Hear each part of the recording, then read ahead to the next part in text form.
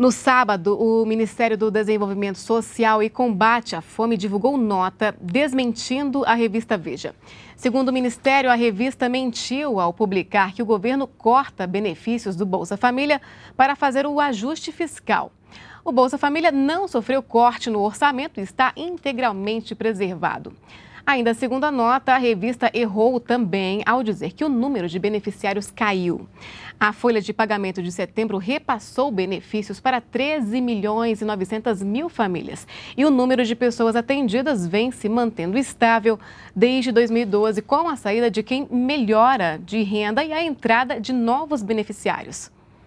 Ainda segundo o Ministério do Desenvolvimento Social, o governo reafirma seu compromisso com o Bolsa Família e monitora os dados do programa e o cumprimento dos seus critérios, assegurando o benefício às famílias que necessitam.